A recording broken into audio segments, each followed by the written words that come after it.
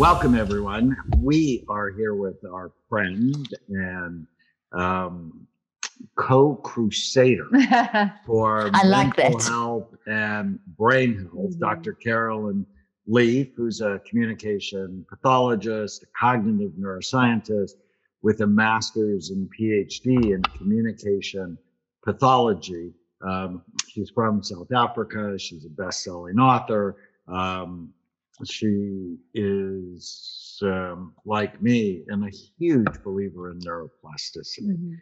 and she has a brand new book called Cleaning Up Your Mental Mess. Great book. Uh, five simple, scientifically proven steps to reduce anxiety, stress, and toxic thinking. So, my goodness, we are living in a society of toxic thinking. Boy, are we ever. So, Emotion. well, welcome, my friend. Yeah, Um, welcome. uh, thank you so much. So lovely seeing you both again. Absolutely. So why this book at this point in time? Um, it seems like it's coming out at a perfect time Right. when the incidence of mental health problems is skyrocketing. And I asked her this because I know how long it takes to write a book. I asked her this on on my um, Instagram interview. She did not plan this during. She did not know, just like we didn't know that there was Yeah. going to be a quarantine. So, if you believe in coincidence, but I would love to hear why you chose to write it when you did. Well, it was a long time coming, but as you say, I didn't know about the pandemic. And that was when I had actually allocated a batch of time just before the pandemic started, was when I was going to finish writing this because I just finished the clinical trials and I'd just finished sort of doing the analysis and thought, well, now I'll sit down to write the book and thinking, how am I going to do this? Because I travel 70% of the month. And then the pandemic hit. So the, I actually had time to sit and write the book.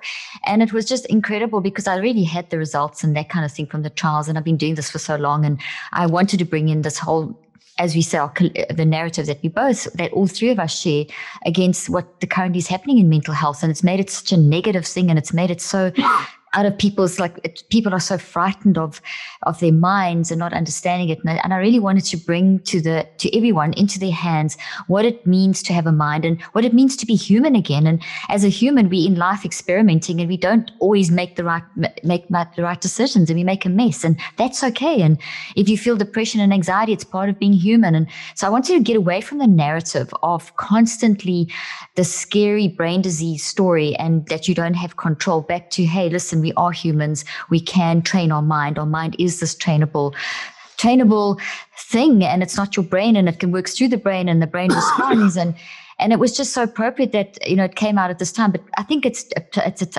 as both are all of in fact all of our work is it's always timely because mental health has always been an issue. And that's something i've been saying in all my interviews is that from the beginning of time till now, there's we've all been battling with our mind. Just each generation, there's just something else that we're dealing with. And we happen to be dealing with technology and pandemic and that kind of thing. But, but so mental health is not something new. And, and I just wanted to make people feel less frightened and have more accessible understanding of mind and brain and their autonomy. And, and that's why I put the clinical trials in and did it the way that I, that I wrote the book. And you talk about five steps. So let's talk about step number one in this podcast. What is the first step to reducing anxiety, stress, and toxic thinking?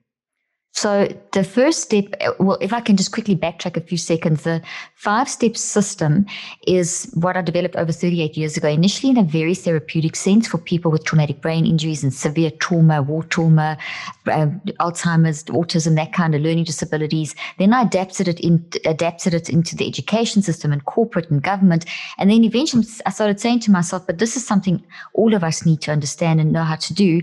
And what is that? It's our mind. We need to understand mind and there just was not enough research around mind. And there wasn't there was so much research as we know the neuroscientific explosion has been amazing but it's made us very focused on the biological that we've forgotten about the interaction with mind. So i really wanted to hone in on mind and understand mind what it is what are thoughts what are emotions what is mind what is the brain and how can we take um, how can we use our mind to change our mind to clean up the mental mess to, to direct the neuroplasticity in our brain and I started that back in the 80s when they still told us, remember, Daniel, they were telling us the brain couldn't change in the 80s. And I remember my one one of my professors saying to me, saying this to me, like my neuroscience professors, and I said, I just I don't see this because we're always changing as humans, we're always experiencing different things. Mm-hmm. So they said, Well, that's a ridiculous question if you think the mind can change the brain. I said, Okay, well, give me the worst population and I'll do research. And they said, Okay, work with traumatic brain injury.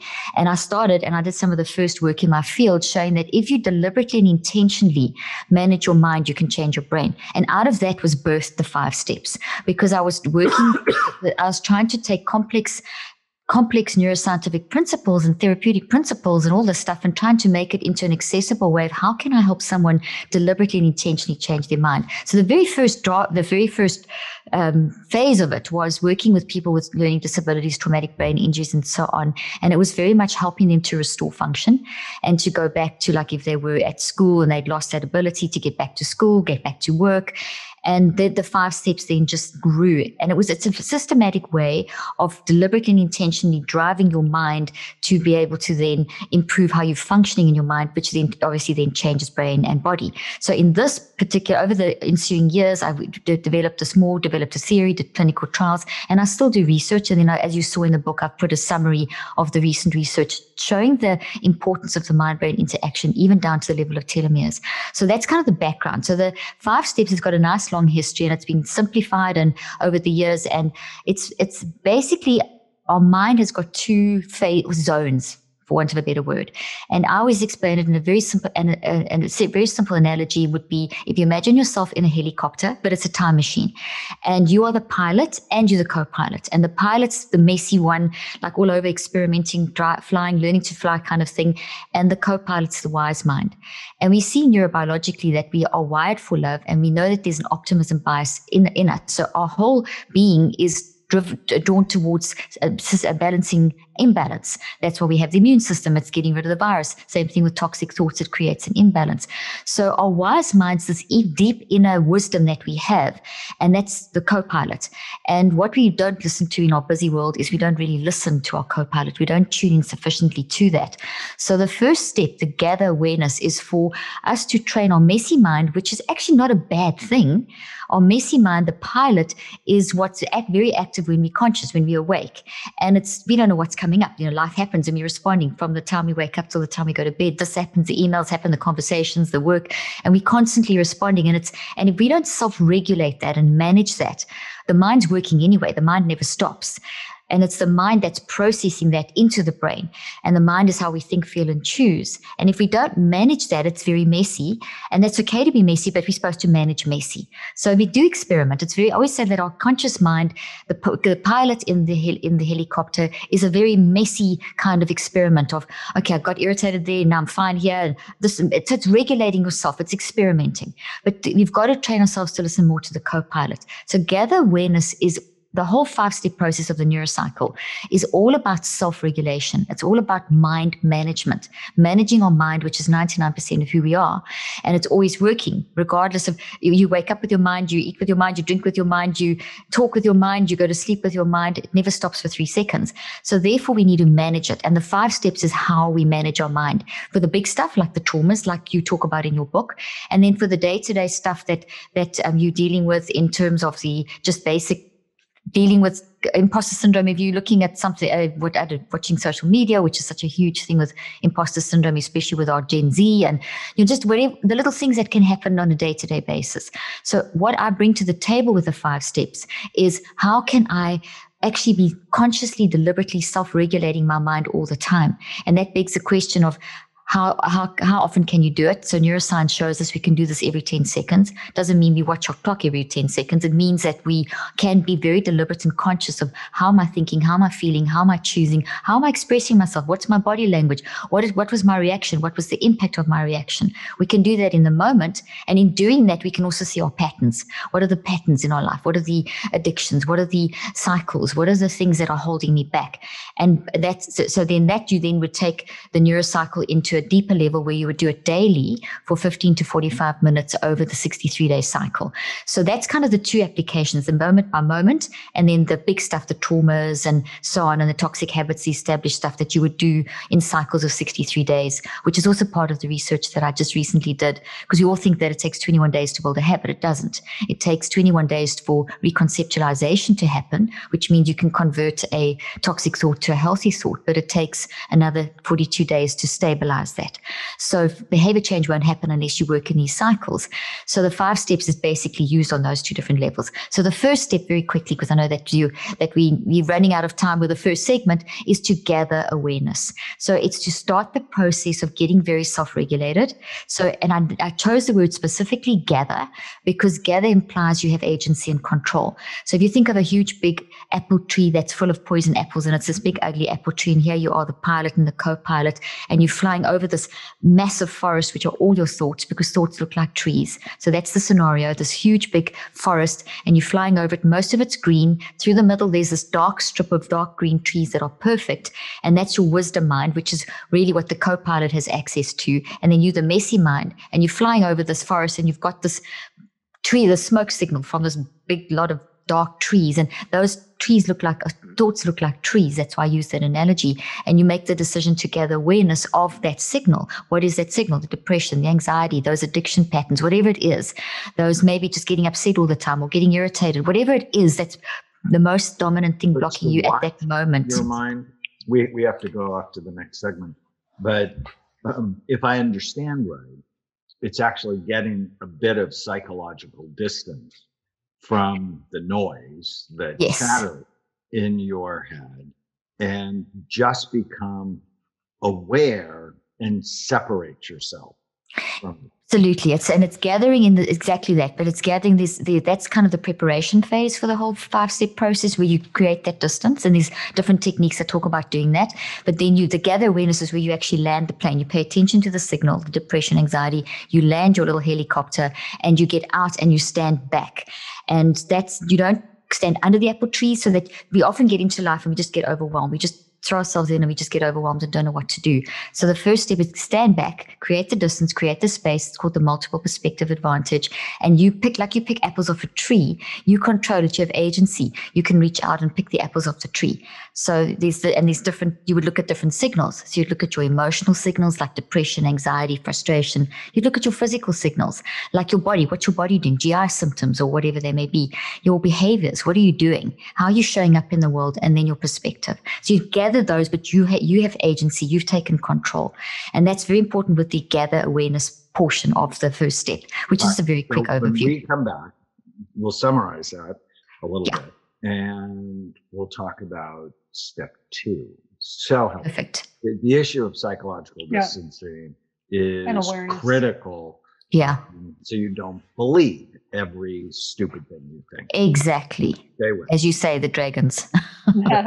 stay with us.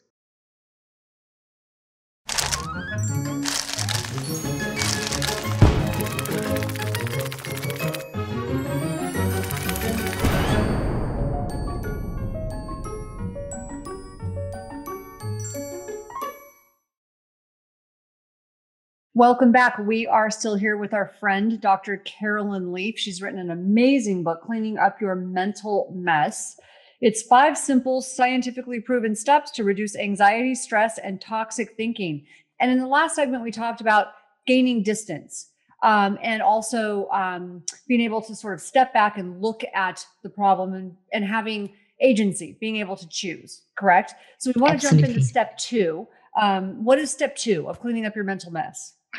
So once you've gathered awareness, as we mentioned, you've gathered them, you've taken control. So that's why it's gather, not just let it fall on your head. And you're very specific. Like let's say it's day one, and you are in because you always work in cycles of 63 days. You may only have the um, energy or the mental space to take to just to focus on one or two of the signals. So you don't have to rush the process, and that's really important. With gathering, you keep control all the time. And we see from neuroscience that the minute that you're aware, which is why this gather awareness is so important as we move into step two, is that when you're aware of something, the toxic thought literally, and I always use these little trees, the toxic thought literally moves into the conscious mind and it becomes more malleable. And that means it's more changeable. So if so by gathering awareness, we now are swapping from being controlled, where it's in it's suppressed, to controlling. And that in itself is quite is quite painful. And that's why I always say with these five steps, when you're working with them in the with the big stuff, the toxic thoughts and the traumas and those kind of things, you're not going to do it for long. You just do 15 to 45 minutes a day. So you gather awareness. If you're doing 15 minutes, you'd spend just three or four minutes on that. And then you would go to your reflect. So step two is the reflect and reflect. And, by the way, this is I always use the trees as as thoughts because thoughts look like trees in the brain, and like trees have got branches and roots. Uh, so do so do thoughts. So the thought, the branch, the roots would be the source. So the origin that would be the trauma experience, all the roots of it, and then that would manifest in your interpretation of the trauma. So this is how you think and feel about yourself. So maybe sexual trauma, like in your case, and maybe there's the whole perspective of I'm not good enough and shame and all that kind of thing, and that's how you show up in the world in terms of behavior. So when we do the five steps to being a thought detective, you literally are looking at the signals in the plane, landing the plane, and gathering awareness and tracking back to find out why why am I doing it? Because the overarching thing is we don't just show up for no reason. However, we show up has a reason. And those reasons are what we need to un- underscore, um, find out and embrace, process, and reconceptualize. So we're not just going to chop the head off the, the weed in the garden because it'll just grow back. We have to do the work. And that's hard. And we all talk about that. The three of us talk about that all the time. There is no quick fix. We live in a world that wants to give us quick fixes. So we've been kind of trained in the last 40 years for quick fixes, but, but it's not. But I like that. I want to make sure we say that again because it sounds simple, but it's really important. However, you show up has a reason. We've got to get to that root cause. Yes, yes. So it's really important to look at the root cause. And sometimes people really avoid. That's the thing we we try to avoid the most is what is that root cause because it's painful. But however yeah. you show up has a reason, and that's important. I just wanted to sort of like highlight. No, I talk to my patients a lot about going into the pain. Yes, rather me too. Yes. away right from the pain. So no, that's so good. Awareness. Gather awareness. Yeah. It's reflect. Awareness to um, is reflect. Reflect. Reflect on it. So and how, how do people do that practically? So on a reflect, basically that's where you ask, answer, and discuss. So if you think of a light shining through a prism, it goes in one color, it comes out the colors of the rainbow. So there's a depth to reflection. That's why I chose the word reflect. It's got an enormous um, depth to it. So where you ask, answer, discuss, and you're exploring, and you really are finding out why do I have that those feelings, those warning signals of depression. And I say specifically, you are reflecting on what you've gathered, what's in your basket. You, are reflecting on the emotional warning signals, the physical warning signals, the behavioral warning signals, the perspective warning signals, because all of those are telling you, they're warning signals, they're messengers, they're telling you something to, to go to your point that you made a moment ago. They're telling you something about this. And your whole objective in terms of the analogy with the five steps is to actually get to the point where you actually dig up the sand around the roots, uproot this tree and and reconceptualize it into a new healthy thought. And that new healthy thought, as you're going through the gather, reflect, and the five steps, is if you look deeply inside the tree, you'll see there's dark leaves and there's light leaves. And I did this on purpose. Because reconceptualization doesn't mean that once you find the root cause that you eliminate your you know your story goes. That you it's, it's there. Like you tell your story in your book and and we all have our stories. Um, basically your story is just reconceptualized. So now the green part is how you've chosen to live your future not chained to the past. And that the light leaves are the story but it's changed. And that's what you're getting to. That's where healing will come. Healing will never come if you just chop the head off and it'll grow back like the roots in the garden. So reflect is then the process of why am i feeling that emotional warning signal of anxiety and depression. And then you answer yourself, and I'm feeling it, I think, because of, and then you have whatever your answer, why? And then answer again. So you're going through this process of very deliberate and intentionally digging deeper. With each of these stages, what I showed with my research is that you're creating more coherence in the brain. I mean, I'm speaking to the brain, the brain, the brain doctor. So you you know exactly what that means. But the the, the vital importance of I look at more at the at the alpha, beta, delta, gamma, theta, those waves. And what we saw was that as people start going deeper with the reflect, where you start asking, answering, and discussing, we created a beautiful, starting to create a beautiful flow between the two sides of the brain because, and you're starting to create introspection. So alpha will increase across the front part of the brain, which helps you to dig deeper. And then as, so as you're reflecting, that information that you're gathering it's it's very systematic this process is very systematic you don't blend it all together you don't grab one signal and and then unpack it. You grab the signal and then you step to the next step very systematically. So reflect is very much ask, answer, discuss. Ask, answer, discuss. That discuss portion is extremely important because you want to start taking yourself and introspecting and going as deep as you can to find out why. Now this is really hard work, and what I showed in my in my research is the treatment effect that um, that when things will get worse before they get better, which is what we said. And what was interesting is that I did I put two case studies in the book with the the little brain images and things with the uh, the, the in, in color. I don't know if you guys have got the hard copy, but we put the QEEG in color. But this particular subject was interesting because this subject was like offline depression. Basically, the subject said, I am depression. They tried everything clinical. They had the label, they had done the medication, the treatments, but and they were about to give up on life. They had this work, family, sleep, everything was just gone. And by the time they reached 21 days of doing this, these five steps, they had their brain had gone to a gray level, which is what you want. Obviously, gray is different for everyone, but it's basically showing that there's a balance in the brain. But what that said in terms of their narrative is they'd gone from being I am depression, I am hopeless, to I now know why I have depression. And that's the point I want to make. So by day 21, they were seeing part of the roots. Their comment was, I've seen part, but I know there's more work to do. But by day 63 of continuing the five steps daily, which included the gather and the reflecting, we're going to do the other the other steps as well, is that they were saying, okay, I now it's now showing up in my behavior. So not only do I'm not scared of depression, I know what depression, it's telling me something, it's a helpful messenger, and I now know how to manage it. So, and I also just want to say up front, this is not replacing therapy. I'm totally for people going for therapy. Therapy is vital, coaching, therapy, counseling, but no one can fix you and you can't, no therapist can fix a person. We can only facilitate the process. I know that having practiced for so long and you know that yourself, Daniel. So this doesn't replace. All I'm doing, you can do any technique, any therapy, I mean, EMDR, anything. It's simply how do you live with yourself between therapy? If you use therapy two days a week or whatever, you've got to live with yourself 24 seven. What do you do with your mind? Work. Yeah. Yeah. you need tools in your tool chest. Yeah. um, Yeah. Absolutely. Um, preview for us, and then we have to go up to the next one. Steps three, four, and five. So then once you've get you've reflected and gathered, you've done a lot of thought work. Now you need to capture that and write that down.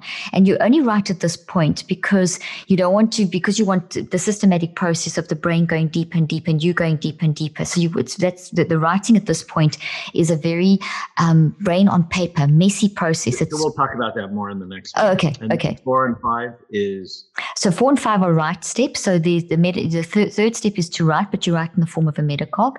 And then the fourth step is recheck, which is also writing. And then the fifth step is an action step. It's called an active reach. Um, so that just kind of seals like a full stop at the end of the end of the sentence. So those are basically the three steps that you use systematically in a time frame. And you can use them in five seconds to catch yourself in the moment. You can use, but when you're doing the hard work of detoxing established traumas that you do daily, 15 to 45 minutes over the 63 so when we come back, we're going to talk about writing and rechecking um, and active reach. Mm. Stay with us.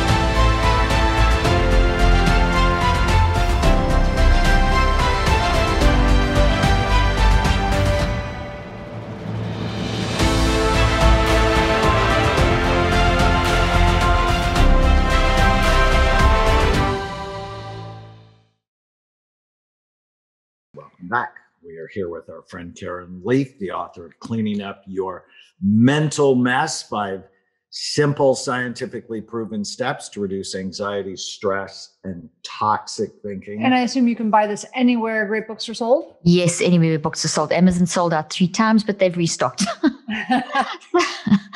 that's Well, that's another story. on the success Yeah. of the book. Thank you. It is just needed now More than more than ever before. And the the whole idea I just love is that you can change your brain. Mm-hmm. Now, yeah, been sort of a theme of my life. exactly. Um, now you can do it with your diet, no question. You can do it with Absolutely. exercise.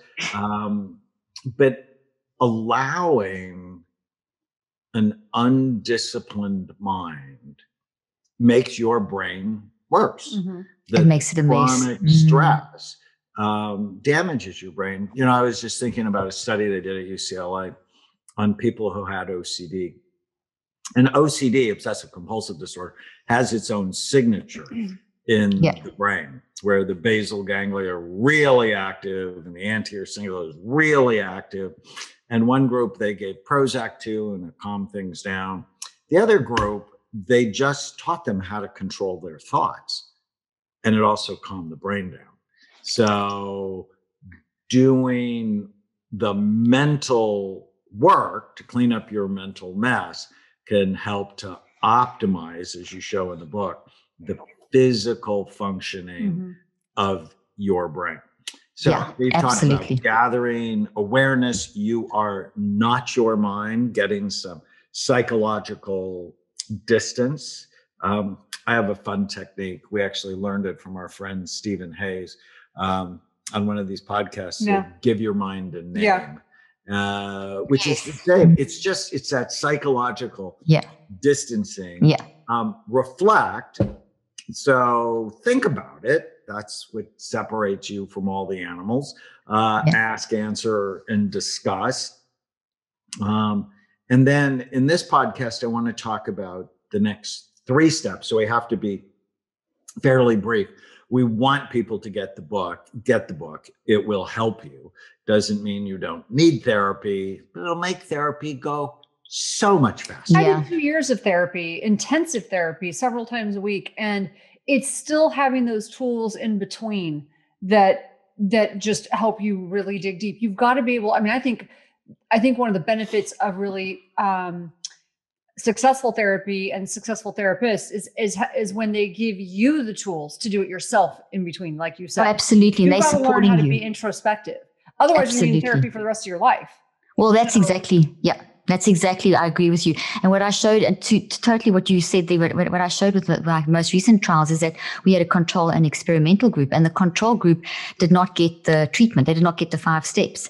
The neurocycle and the, and the experimental group did get the five steps, and they were doing it daily via an app because we have an app as well. And the difference was unbelievable. Both got very, both became very aware of the issues because we did all the blood, you know, the blood biomarkers and the psychological testing and the narrative, which was the most important, and the DNA testing in the brain, the, neuro, the QEEG. But the treatment group got the got the five steps versus the others. And so the control group, what we saw is they got worse. And, and what was mean, one of the strongest indicators of how they got worse was looking at their telomeres. So all of them at the beginning of the, of the trial, they all came in like really in a bad place. And we looked at their telomeres and they were, and telomeres are, as you, you guys know, but for the audience that don't, it's the chromosomes that look like X's and it's all fingernails. It's the, if end of the, the end of the chromosomes. And just very, very briefly, just to show you how powerful managing your mind is through the, through a system like the five step, the neurocycle, is that a lot of our subjects, their telomeres were so weakened and so short. Now that's not really good because you make a million cells plus every second and your telomeres are involved in that process. And telomeres, the, re, the recent research shows that they're a proxy for mind management. So the more your mind is a mess, the shorter the telomeres, the, the more your cells are affected and the more your body becomes vulnerable and biologically not in the best place. You increase your vulnerability to disease by 35 to up to 35 to 98%. So we found some of our subjects in the trial, and I put a case study in who was their biological age was almost 30 years older than their chronological age and, uh, and a sickly body. So here they're in their 30s and they had a, a body of a sickly 65 year old. Within nine weeks that had reversed and they their chronological and biological ages matched their telomeres significantly lengthened. There was no drugs involved no diet involved it was pure mind management. Because your mind's driving i mean that you speak about also you know, diet exercise we have to deal with all of those. But essentially what we saw was that those subjects that managed their mind their, biological and chronological age matched up and then also all the immune the biomarkers the immune system the, uh, inflammation the brain markers everything changed dramatically. But the ones that didn't they got worse. It was so bad that they they had so much high anxiety by the end of the study. Obviously we gave them the mind management and it, it changed things immediately. But the key thing here is that we our mind's working anyway. You can go three weeks without food three days without water three minutes without oxygen but you don't even go three seconds without using your mind. So we've got to get the help of therapy and, and all the professionals like like yourselves and you know, get with that the help that you offer. I mean clinic and that and and therapy but we have to also live with ourselves between those sessions and that's really what the five steps do. So the third step is then as I mentioned is the right third and fourth step are both right steps. And the the first right step is a get your mind and brain on paper. Don't worry about like a literary piece just pour it out. The biggest thing is to drag as much out as you can. So I developed a system called the Metacog, which is 38 years in, in research. And it really is a very strong way of writing. It's pattern writing that basically matches what these trees look like. So like a tree has a has a trunk and branches grow and all branches grow out of the previous branches. You basically create these patterns on the page and you just put down your thoughts. Um, and you just put down these words and whatever comes up, whatever it's basically your memories in your thoughts. And there it's a total mess, but almost like you're vomiting it on paper. But that really pulls the two sides of the brain together and really activates the hippocampus and all the different prefrontal cortex. It, it creates such a, a, a dynamic flow in the brain because the mind is driving the brain. And the mind, as you bring this order in the mind, you're bringing this order in the brain.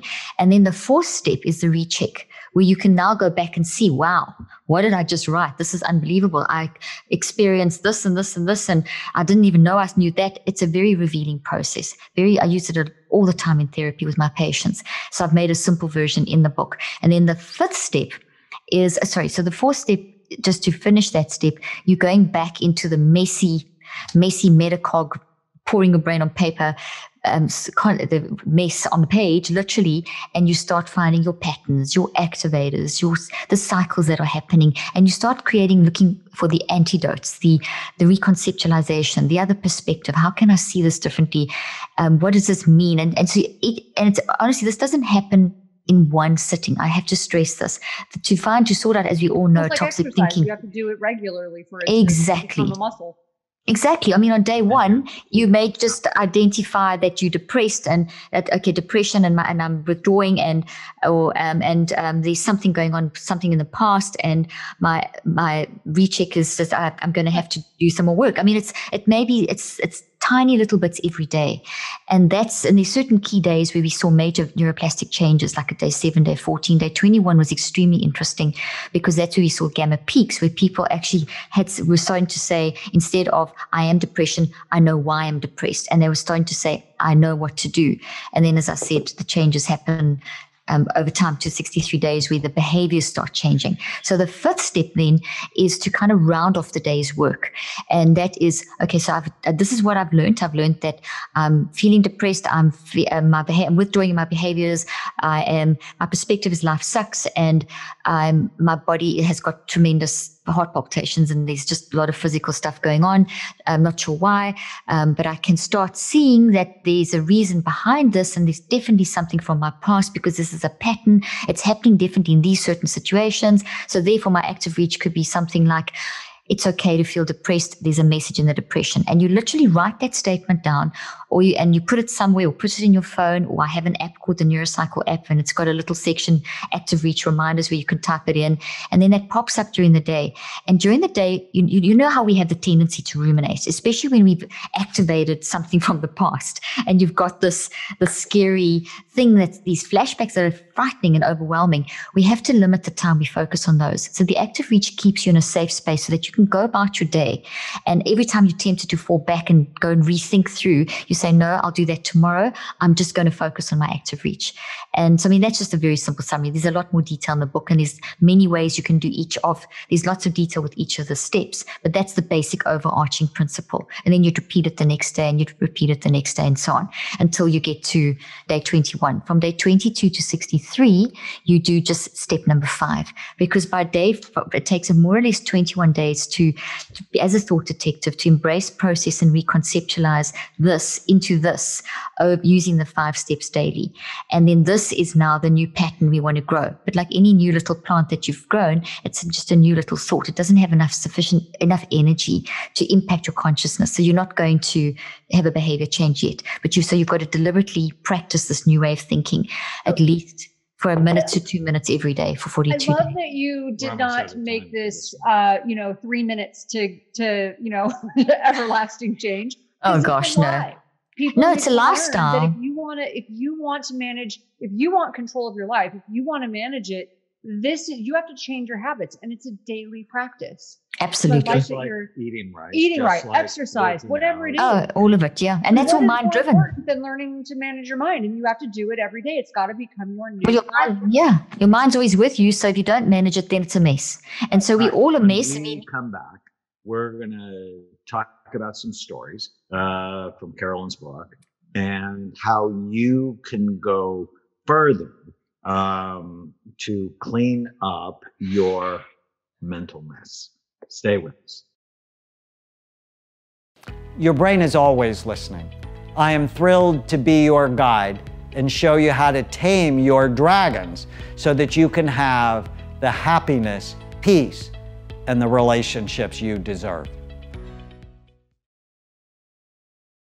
Welcome back. We are still here with our friend, Dr. Caroline Leaf. Um, just so smart, so amazing. And her new book, Cleaning Up Your Mental Mess. Um, such a great message. And we're talking about the five steps, five simple, scientifically proven steps to reduce anxiety, stress, and toxic thinking. You can buy Cleaning Up Your Mental Mess wherever great books are sold. And we sort of went through the steps in the last three segments. And now we want to hear from Dr. Leaf about some of her favorite stories and how these steps have actually worked practically. And I love in the last segments we talked about this is not one of those, you know, overnight, like three minutes to, to everlasting change, because that's Yeah. just nonsense. She's going to teach Yeah. you how to make this a lifelong practice for you to be in control of your mind. So, how, what are some of the stories of people doing this? Like, what are your favorite success stories? wow. I have it is it, you say that I'm thinking how can I pick one there's like thousands I that have been right? coming through so I put I put two stories in the book um but there's one that just just happened recently of someone who just actually got hold of the, the book and who's actually known of my work for a few years and they just they I actually interviewed them recently and their story is phenomenal where they went through um, as a young child went through multiple um, from the age of five through 18 they were uh, Um, ex- experienced sexual abuse but like really bad and in the church and they had a lot of religious trauma and when they went to the this particular person went to like their pastors they there was this whole thing well it's your fault you don't have enough faith and Yeah. it was terrible it was so so this person was so traumatized for so many years and always i mean, to therapy but it was always like talking in circles. And then one day a friend actually gave him one of my books and um, he started following me and then got this most recent book and we've made contact and that's why I actually ended up doing an interview. But he just said that he, he suddenly realized when he realized that he had agency had the autonomy to make the past. He can't change the past but he could go back.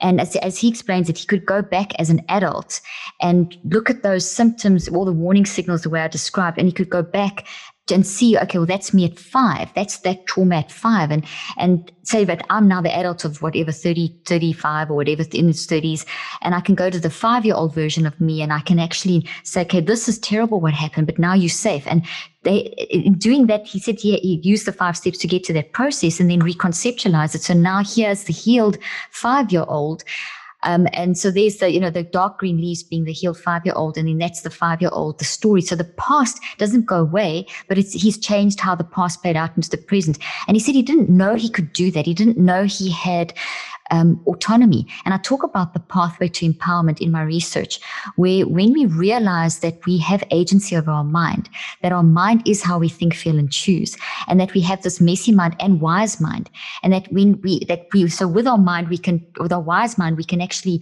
manage the messy mind because the messy mind's part of life. It's part of who we are. It's never going away. So, but it's, it's so if we deny that or suppress that, then that's not going to help you. But if you accept, okay, I made a mistake. I snapped, I got guilty, I got irritated, I own it, but now I'm going to why did I do that? And you do that thought detective work. That's that's where you're getting that mind management. And this is what this particular person was saying that they realized that, hey, I can actually stand back and I can see that the pain of how I'm showing up now has got all these roots, and I can here's a system for going through that. And they were still going to therapy, but he was using that in therapy.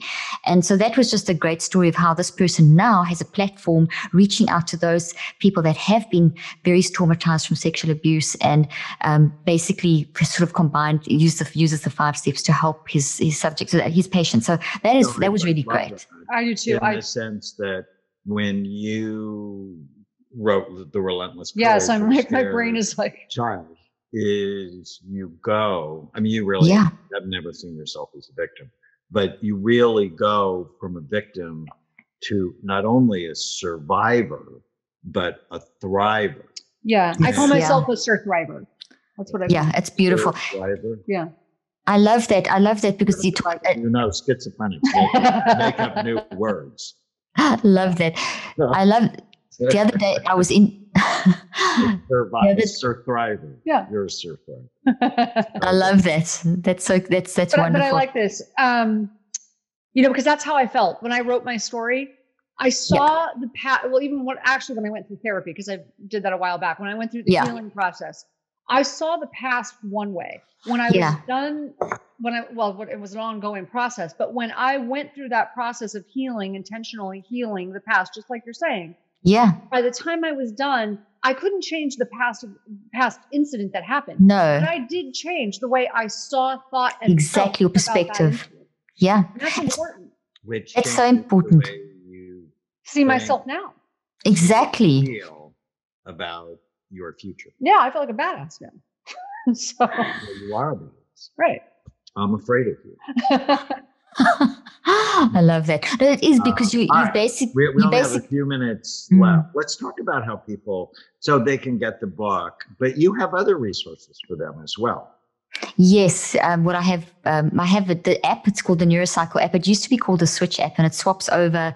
It's. It actually swapped over this week. So into the Neurocycle app, it's all updated. It matches the book. It's literally like me giving you therapy, and all the um, the basic twenty one day, uh, sixty three day cycles in there, and then I have a whole lot of um, guides. In the second part of this book, we actually explain how to do the Neurocycle. There's lots of, as you would have seen, lots of examples of how to apply it in um, the five steps for toxic trauma, the different types, big T, small t, acute traumas and toxic habits. And so there's lots of examples. And I've also get, put little hacks. So for example, let's say that you have to, you're just about to go into a meeting and someone says something to you and it throws you completely and you've got to kind of get yourself back together so that you can be focused in the meeting. You can also use the five steps for that.